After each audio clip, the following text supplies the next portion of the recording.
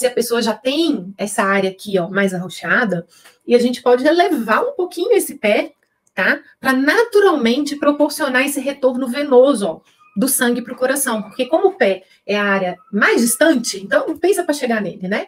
E aí qual que é a estratégia? Você olhou, tá? Viu essa área bem arroxeada e pela anamnese estratégica, e pelo que você percebe do histórico de saúde da pessoa, ela tem problemas circulatórios, ou digamos que ela diga que não tem problemas circulatórios, mas nunca foi ou não lembra de ter ido um médico ou especialista e tudo mais, o que, que você vai fazer?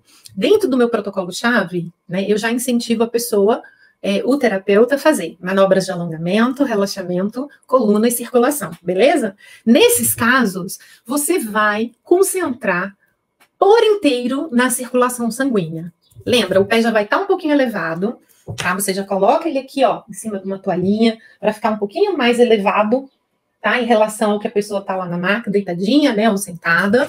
E aí você vai, ó, caprichar.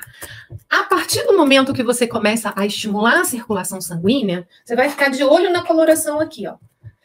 Tende, né, a tendencialmente ir clareando, beleza? Naturalmente já vai clareando.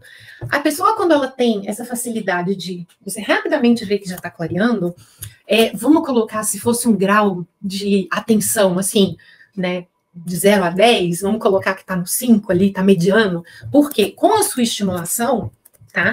Está, está tendo esse retorno venoso.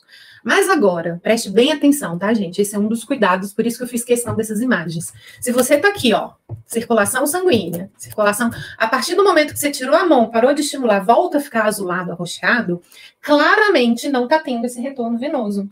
E aí, qual é o cuidado? Essa pessoa precisa ir ao médico, tá? É um alerta. O pé está mostrando, o pé está falando que o sangue não está tendo ali o retorno, né, a oxigenação necessária.